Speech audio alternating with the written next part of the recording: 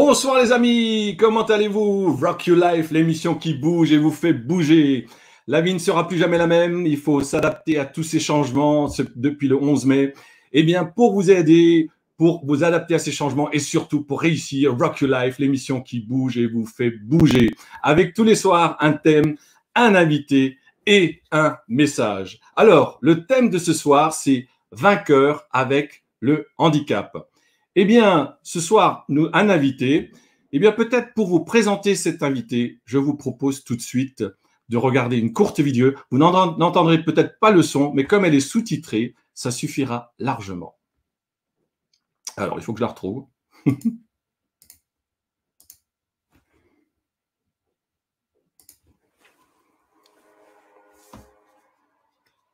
Maintenant, vous savez. Vous savez ce que ça fait de ne pas pouvoir aller où vous voulez de vous sentir isolé, de ne pas travailler dans des conditions adéquates, de vivre dans un logement mal adapté à votre situation, et d'avoir un accès limité à la culture et à l'éducation. Oui, maintenant, vous savez ce que ça fait d'être en situation de handicap.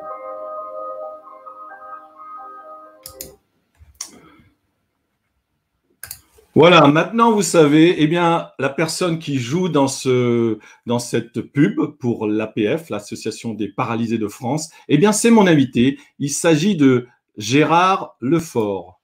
Bonsoir Gérard. Bonsoir Francis. Comment vas-tu? Bien, les ah, pneus sont gonflés. Un petit peu la technique, excuse-moi. Parfois c'est un peu plus compliqué. Oui, comment vas-tu? Très bien, impeccable. Très bien. Alors, la question, tu es un acteur ou tu es un handicapé pour jouer dans ce film? Eh bien, je veux dire que je suis un homme. Voilà. Et avec différentes casquettes. Et on peut, euh, comme il y a une casquette professionnelle qui est l'acteur, une, casquette, euh, on va dire, euh, morphologique qui est l'handicapé. voilà. D'accord. Alors, donc, tu es handicapé, mais est-ce que tu es handicapé de naissance ou tu as eu un accident? Alors, si on parle de l'handicap visible, c'est un accident. Euh, et de naissance, j'ai peut-être un, handicap, mais comme il est invisible, je ne vais pas en parler. Ah, mais moi, je constate que tu as un autre handicap, c'est que tu as beaucoup d'humour. Hein euh, oui, ça me gêne pour être sérieux. Ouais. Alors, c'est quoi ton histoire? Qu'est-ce qui t'est arrivé pour être handicapé? Accident de moto en 2003 en allant, en allant au boulot. Oui. Un accident de moto. Alors, quelle a été la conséquence? C'est-à-dire, euh, euh, accident de moto, tu t'en souviens encore de cet accident? Je, n'ai aucun souvenir. Euh, je sais simplement que j'ai fait le plein au moment de, partir parce que j'ai retrouvé la facturette de la carte bleue dans mon portefeuille, mais j'ai aucun souvenir. la conséquence a été une fracture de la douzième vertèbre, mhm. entraînant une paraplégie, donc une, comment, les, jambes inférieures qui, qui ça fonctionne pas. D'accord.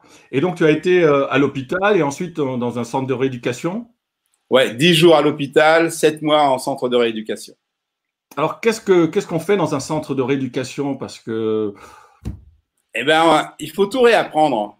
Ouais. C'est-à-dire qu'avec une lésion de la moelle épinière, euh, par exemple, donc il n'y a, plus de sensations, ça veut dire que les sensations ne remontent pas jusqu'au cerveau. Et il y a mhm. aussi, il n'y a plus de motricité non plus, puisque la, la, la liaison est coupée. Ce qui veut dire que, par exemple, pour m'habiller, pour mettre un bon pantalon, par exemple, je dois être allongé. Et puis, ben, il faut tout apprendre pour euh, mettre ses chaussettes, pour tout. Mhm. Euh, Donc, c'est vraiment, pour nous, ça paraît simple, ou peut-être parfois pour certains, c'est compliqué de mettre ses chaussettes, mais pour toi, c'est encore plus compliqué. Ben, disons, euh, oui, quand, quand tu es à la bourre pour aller bosser, que tu mets deux minutes sur un pied pour mettre ta chaussette, tu t'énerves. bon, Donc ça, prend plus de temps que pour la plupart des personnes, quoi. Ah oui, oui, oui, oui, pour tout, pour tout. Euh, je veux dire, euh, et ça demande beaucoup d'énergie, les transferts pour passer du lit au fauteuil, du fauteuil au lit. Mhm. Euh, à chaque fois, c'est de l'énergie. Alors, c'est beaucoup d'énergie, mais tu avais déjà beaucoup d'énergie avant, je pense, et tu en as encore beaucoup aujourd'hui. Mais avant ton accident, qu'est-ce que tu faisais? Ouais, j'avais l'énergie, j'étais sportif. Mhm. Et donc, moi, j'étais ceinture noire troisième dan de judo septième au championnat de France euh, universitaire. Euh, j'ai fait des compétitions moto aussi, euh, donc j'étais sportif. D'accord. Et alors, est-ce que ça a changé après ton accident? Parce que tu, tu peux peut-être plus faire de judo, plus de moto? Ben, Disons que pour le, ce qui est des, des sports de combat, j'ai fait de l'escrime, après de l'escrime en handisport. D'accord. Je ne peux pas faire de judo. Pour la baston, c'était vraiment sympa. Enfin, j'aime l'opposition. Uh-huh. Et puis, euh, ben, pour la moto, ben, maintenant, j'ai des engins à trois roues. Mais, je suis, mais je, quand je suis dessus, ben, je, suis comme sur une moto en ce sens que je suis dehors. J'ai le vent, j'ai les sensations. Euh, voilà. Donc, c'est ça qui, qui c'est important pour moi. Alors, en engin à trois roues, je crois qu'on a une photo. Je vais te la montrer. Et eh ouais. Une très belle photo. Donc, tu, nous parleras tout à l'heure de ton projet, les vainqueurs, avec le handicap international. Hein. Ouais. Mais pour, ce qui est de la moto, ouais, pour ce qui est de la moto qu'on a vue, c'est une moto euh, de la marque Sidebike. Ça s'appelle un trike. Trois roues et un, et un guidon, c'est un trike. Quatre roues et un guidon, c'est un quad. Et ce trike a été fabriqué du côté de Grenoble, c'est euh, français, avec des pièces Peugeot. Le moteur, c'est le 2 litres de Peugeot de la 206 S16. Tu dis trike, c'est un nom anglais. je sais pas comment tu écris ça, trike? Ouais, trike. Euh, parce que si je dis trick, les gens vont penser que je suis obsédé. Très bien. Alors, comment ta vie a changé après euh, cet accident?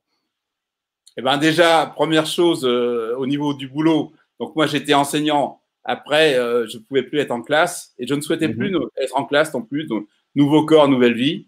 Et j'ai eu un travail administratif au sein de, de l'inspection académique de Charente-Maritime. Et puis après, j'ai été chargé de mission pour le rectorat. D'accord. Et après, tu as pris euh, ta retraite ou tu es parti à la retraite ou à un moment donné, tu as changé Oui, oui, euh, grâce au handicap, euh, je me suis dit à un moment donné que si je voulais participer à la modification du regard porté sur le handicap, ce serait bien d'utiliser l'humour et le, et le, théâtre. Et mhm. donc, en 2013, j'ai demandé à partir à la retraite de l'éducation nationale. Donc, j'ai devancé l'appel. Et en 2014, j'ai joué. Il y, en a pas beaucoup qui se rappellent de ça, devancer l'appel. Hein. Mais il faut dire qu'on est en juin, là. Donc, euh, j'ai essayé de, placer l'appel de, juin. Ah, bien. Même si on n'est pas le 18. Donc là, le, 2013, je pars à la, retraite de l'éducation nationale et juillet 2014, je joue mon premier one-man show au Festival Off d'Avignon. D'accord, donc tu es comédien. Comédien, oui. Parce que dans les années 80, j'étais enseignant J'étais compétiteur au judo et aux échecs, donc des activités d'opposition. Et j'ai découvert le mime, le mime et le théâtre, des activités de coopération. Et j'ai bien aimé les deux. Donc mhm. j'ai beaucoup déménagé. Je faisais à chaque fois, euh, je donnais des cours de judo et je prenais des cours de théâtre. Je prenais des cours de théâtre jamais dans l'objectif de devenir professionnel. C'est le fait d'être devenu handicapé qui m'a donné l'opportunité de, de, de, de, devenir professionnel. Alors tu es, tu es à la fois comédien, tu es aussi conférencier, c'est ça? Voilà, alors ça, ça, ça, a été aussi une démarche. C'est-à-dire qu'au départ, j'ai commencé le théâtre en tant que professionnel pour sensibiliser. Mais quand j'ai joué dans un théâtre parisien où euh, j'ai joué deux fois au Festival d'Avignon, deux one-man shows différents, euh, donc en 2014 et 2015, et en fin de compte, j'atteignais pas mon objectif qui est de sensibiliser parce qu'il y a une telle offre. À Avignon, il y a 1500 spectacles. Donc si les gens viennent me voir, c'est qu'ils sont déjà sensibilisés au handicap. Même chose quand j'ai joué dans un théâtre parisien. Du coup, je me suis tourné vers le théâtre en entreprise. Et là, j'ai coécrit un spectacle pour sensibiliser à l'embauche des personnes en situation de handicap. Donc, c'était un spectacle à destination des entreprises. Le problème, c'est que les entreprises ne me sollicitaient que durant la semaine du handicap en novembre. Genre, c'est fait, on coche la case et on s'en occupe plus. Et c'est comme ça de, que je suis devenu conférencier avec une conférence qui s'appelle OVO, Oser mmh. voir l'opportunité. Et le message que je porte, c'est quel que soit ce qui vous arrive dans votre vie professionnelle ou personnelle, y compris un traumatisme, essayez d'en faire quelque chose. Et ce message, je peux le porter toute l'année. D'accord, donc tu as, donc tu as intervenu en entreprise. Mais avant même d'être conférencier aussi, tu avais d'autres actions internationales. Peut-être tu peux nous en parler un peu? Oui, grâce toujours, grâce à la, grâce à la, la paraplégie, j'ai eu une vie associative dense. Et j'ai notamment été président de la Fédération internationale des droits de la personne handicapée, qui est une fédération basée à Montréal. Mhm. Et cette fédération donc a été créée par les Canadiens, par les Québécois, Québécois, euh, à partir d'une cause euh, Facebook. C'était donc une cause virtuelle. C'était pour sensibiliser les gens à la Convention de l'ONU sur le droit des personnes handicapées. Mhm. Et comme il y avait 17 000 personnes qui nous suivaient sur Facebook, les, les, Québécois ont voulu passer du virtuel au réel. Ils ont créé l'association. Il y a eu une première présidente et au bout de huit mois, elle a démissionné et moi, j'ai été élu. Et quand j'ai été élu président, j'habitais donc euh, en Guadeloupe. Donc l'association était à Montréal. Donc le président, mhm. moi j'étais en Guadeloupe. Le secrétaire général était à Yaoundé au Cameroun. La trésorière était à Montréal puisque l'association était à Montréal. Et dans le bureau, il y avait deux autres personnes, deux conseillers stratégiques, un Belge, une personne sourde qui, faisait des trucs extraordinaires, euh, qui travaillait vraiment à haut niveau, et euh, Charles Gardou, professeur des, universités à Lyon 2, spécialisé dans la vulnérabilité et le, handicap. Et donc, moi, j'étais le seul à connaître tout le monde et à être allé partout. Donc, tu as une vie internationale pour défendre toujours euh, la même cause. Et, ce soir, tu es encore là pour défendre cette cause, en, l'occurrence dans, dans, la publicité qu'on vient de voir, pour, euh, qui est diffusée en ce moment sur les chaînes nationales. Et, euh, et donc, tu as un projet, il me semble, actuellement, où tu avais développé avant le confinement, mais que, qui va bien sûr continuer. Parle-nous un peu de ton projet. Donc, ce, ce projet, il est, c'est vainqueur avec handicap international. Voilà. Donc, euh, je, veux jouer ma conférence dans les six pays européens ayant une antenne de Handicap International. Handicap International est une association française basée à Lyon mhm. qui, euh, travaille sur euh, plus de 60 pays à travers le monde et dont uniquement six pays européens. La France, la Suisse, l'Allemagne, le Luxembourg, la Belgique et le Royaume-Uni. Et donc, moi, je veux faire une, tournée avec ma, avec ma conférence dans ces six pays en jouant dans des, alliances, dans des alliances françaises. Et Alors, le, je crois qu'on a une carte pour, pour ton ah parcours. Ah, super, oui, merci. Voilà. Voilà, donc là, il y a les 20 étapes. Et je joue euh, au chapeau, c'est-à-dire que le public va donner euh, ce qu'il veut à la fin de la conférence. Et 60% de leurs recettes iront à Handicap International et 20% iront à l'Alliance française dans laquelle je vais jouer. Et c'est pour mhm. ça que ça s'appelle vainqueur avec Handicap International, parce que chaque lieu est un lieu de complicité, le, pour le, C de complicité, le O d'ouverture, le E de d'espoir, le U d'union, le R de respect et le S de solidarité. Je, peux t'aider si tu veux. Oui, ouais, parce que là j'ai dit un mot, que j'étais. Attendez, si, la technique, si elle veut bien suivre. Attends, on l'a on ici. Espérance au lieu d'espoir, c'est pour ça. Et je sais. Ouais, bah voilà. Merci. Que ferais-je ferais sans toi? N'est-ce pas? Oui. Alors, donc c'est un joli projet euh, donc, euh, que tu vas faire. Tu n'as peut-être pas encore défini quand, mais c'est d'aller dans tous ah ces bah, pays. Je devais partir en septembre. J'espère toujours partir en septembre, partir mi-septembre et finir euh, fin octobre. Et je souhaite être accompagné dans chaque pays que je traverse par deux motards du pays, une paire de motards, c'est-à-dire une motarde et un motard du pays, je tiens à ce mhm. qu'il y ait une motarde parce que je lutte aussi contre les stéréotypes sexistes. Et donc, chaque fois que je passe une frontière, je change d'accompagnateur. Ça permet de faire travailler des gens du pays et ça me permet aussi d'avoir une. Comment de, de, pouvoir, si possible, aller, loger chez l'habitant pour pouvoir aussi euh, rencontrer des gens. Mhm. C'est-à-dire que si je suis accompagné de, de deux personnes valides, j'aurai la possibilité de me faire porter euh, chez des gens. Et il y a aussi l'accessibilité au niveau de la langue. Par exemple, quand je serai en Allemagne, c'est mhm. bien que je sois accompagné par, par deux Allemands.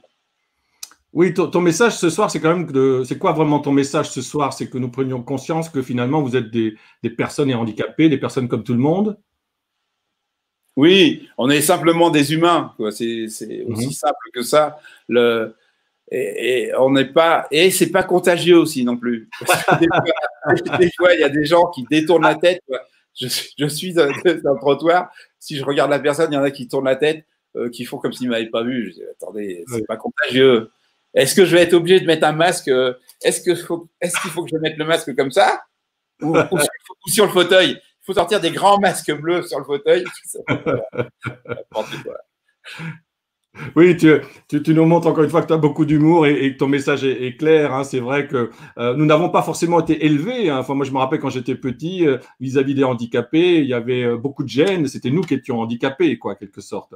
Et, toi, finalement, tu permets de nous libérer tout de suite cette barrière. Quand on te rencontre, je me rappelle très bien quand je t'ai rencontré la première fois, il y avait tout de suite, il y avait plus cette notion de handicap. Une fois qu'on a dit bonjour, paf, ça, le, mot n'existait plus pour moi, en tout cas, dans ma perception. oui oui, c'est sûr que le handicap dont, je suis atteint, l'avantage, euh, c'est qu'une fois que la personne euh, en face est assise, ben, on, est sur, on est sur des fesses d'égalité. Je ne vais pas dire sur mhm. des pieds d'égalité. On est sur des fesses d'égalité. Et, et, voilà, on discute. Tu vois, c'est comme là, comme la situation actuelle. Les gens ne voient pas mon fauteuil.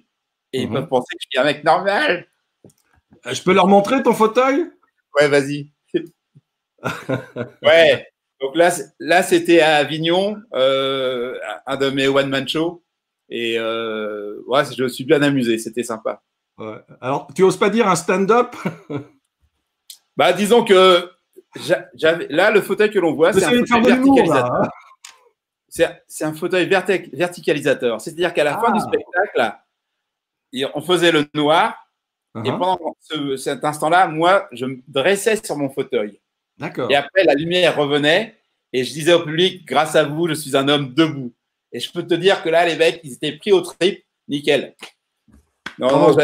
j'avais, j'avais un spectacle qui, qui marchait bien. Et, et ce qui était important, j'ai vécu des trucs très chouettes, notamment euh, toujours à Avignon. Il y a une personne, une dame, qui est restée, elle a attendu que tout le monde soit parti. Elle est venue me voir pour me faire la bise et pour me dire que je, la, je l'avais réconciliée avec le handicap.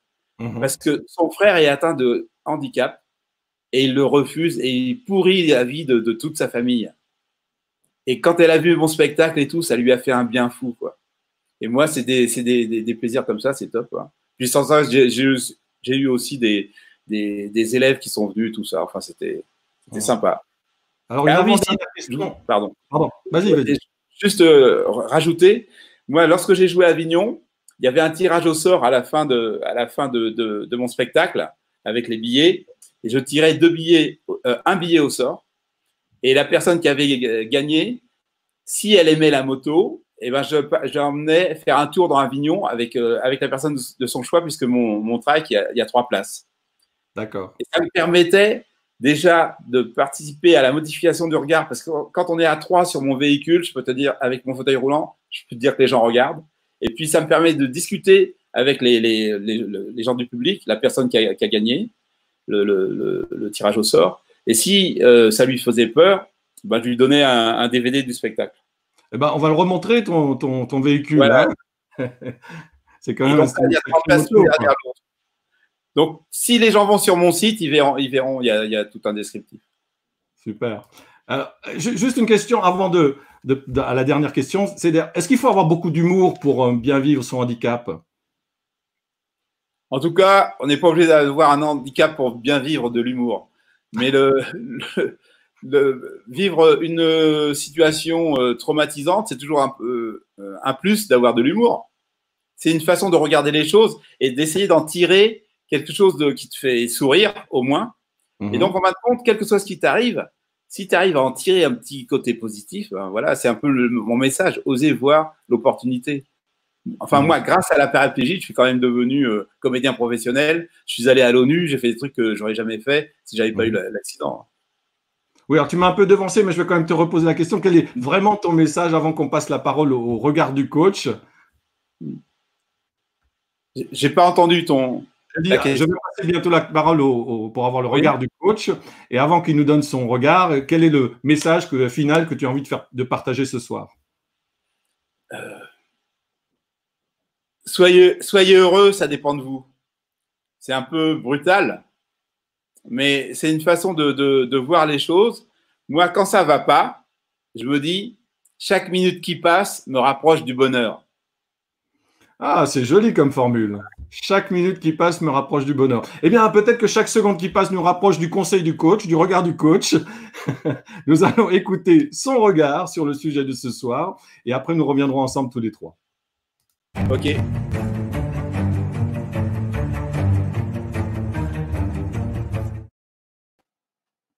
Bonsoir à tous. Eh bien, que de belles formules. Hein. La première que j'ai retenue, et je m'en embarque tout de suite, hein, c'est vainqueur. Hein. Donc là, je l'ai compris au départ dans l'autre sens, V-I-N-Q-E-R.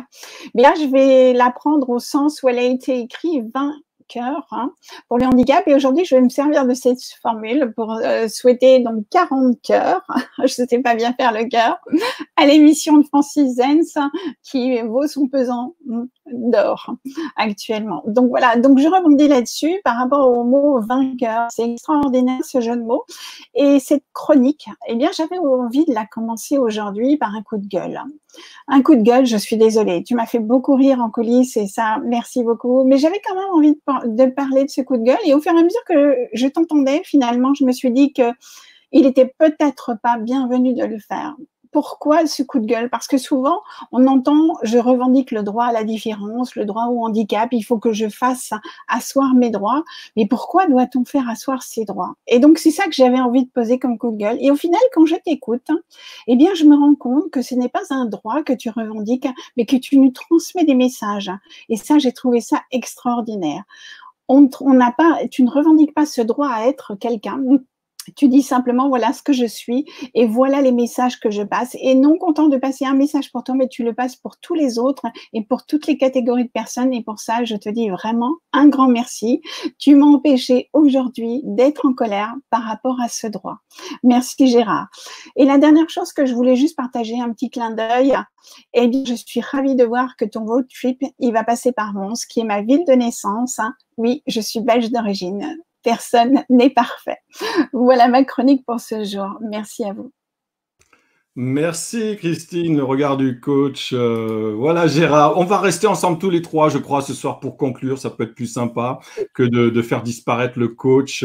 Euh, voilà. Alors euh, Gérard, qu'est-ce que tu as envie de dire par rapport à ce que tu viens d'entendre? Eh ben, merci Christine. Et puis je voulais dire que moi, je lutte pour une société inclusive.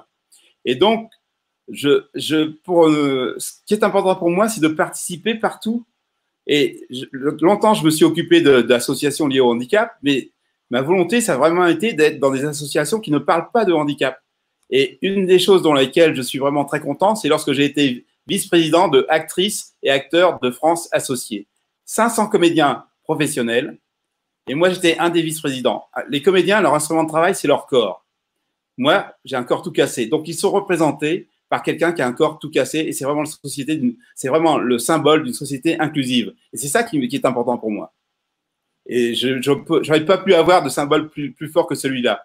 Et lorsque j'étais euh, vice-président de, l'Association internationale des droits de l'homme, qui est une ONG qui a le statut consultatif auprès de l'ONU, je suis allé dans des conventions qui ne parlaient pas du handicap. Je suis allé dans les conventions sur le développement socio-économique.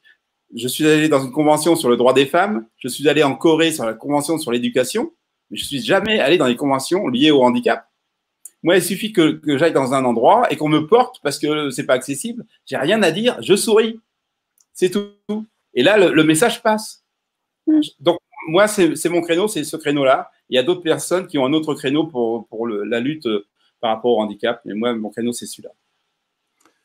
Eh bien, super. Merci beaucoup, Christine, pour ce regard du coach. Euh, et grâce à Gérard, tu as pu euh, libérer ta colère. Merci aussi pour les 40 ans, parce que c'est vrai, pas 40 ans, les 40e, la 40e émission des 40 ans. Oui, je me rajeunis. 40 ans, c'est ton âge aujourd'hui. ouais. 40e émission, effectivement. Euh, l'émission va encore continuer jusqu'au numéro 50. Et j'aurai comme invité la semaine prochaine une personne qu'on pourrait aussi qualifier handicapée, mais euh, euh, c'est une, malvoyante. Et, et, donc, vous allez voir que ça va peut-être rejoindre un peu la discussion de soir, encore que ça sera sous un autre angle. Je sais aussi que tu as parlé de Gérard d'une société inclusive. C'est-à-dire que tout le monde soit euh, présent de la même manière, regardé de la même manière. Je sais qu'il y a une personne qui nous regarde qui s'appelle Sylvie euh, et depuis le début et qui elle a du mal à lire euh, ou à entendre et donc elle lit sur les lèvres. Et je sais qu'au début je parlais trop vite, je parle peut-être encore trop vite. Si je pouvais avoir le sous-titrage en temps réel, je le ferais bien, mais voilà, je n'ai pas encore trouvé toutes les techniques pour répondre à, cette société, cette demande d'inclusivité, quoi, d'inclure tout le monde. Euh, voilà, donc euh, on va quand même regarder quelques messages que, certaines personnes nous ont nous ont envoyé. Euh, voilà, bonne quarantaine. Ben merci. voilà, un petit coucou aussi de Martine. Tu vois, c'est que des femmes, Gérard. Hein, ça peut peut-être Oui, oui, mais si tu permets, Francis, je crois que tu as comment? N'as pas pris vraiment conscience de ce que t'as dit la dame. Elle t'a dit bonne quarantaine, elle veut te mettre en quarantaine, c'est tout.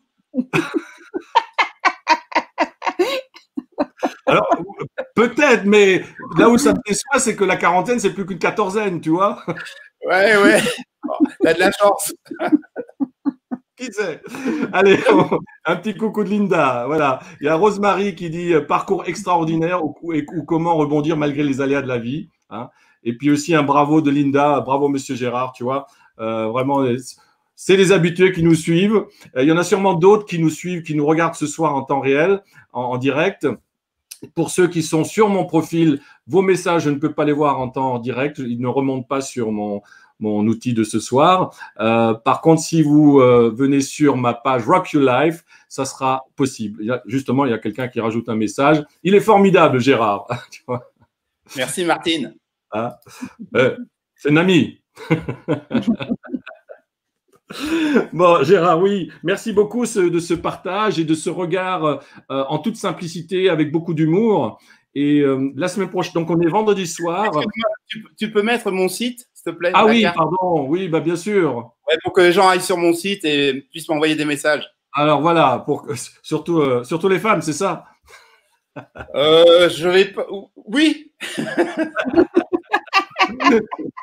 Est-ce que, Attends, on va, on va montrer ça, hein, regarde. Voilà, comme ça. Ah, j'avais ça, voilà. Là, il y a en plus ton 07. Eh ouais, il y a tout, il y a le téléphone, tout ça. Voilà, là, on peut pas de. Hein, voilà. On peut pas couper. Très bien, Gérard. Moi, j'aime beaucoup euh, ton humour euh, et euh, j'espère qu'on aura l'occasion de se revoir dans d'autres conditions, peut-être même dans un autre live. je retiens d'abord que chaque minute qui passe nous rapproche du bonheur. C'est vraiment une très belle formule. formule. Chaque minute qui passe nous rapproche du week-end aussi. Donc, c'est le week-end, c'est repos pour Rock Your Life. Rendez-vous lundi prochain, lundi soir, avec Alexia Yugnovski sur Écrire avec aisance. Et puis, euh, ben, je vous dis euh, bonne soirée à tout le monde. Merci Gérard d'avoir accepté l'invitation. Merci au coach Christine. Un dernier mot encore, Gérard? Non, ben, bon week-end. Oui, bon week-end à tous. Voilà, merci beaucoup. Je vous embrasse. Au revoir.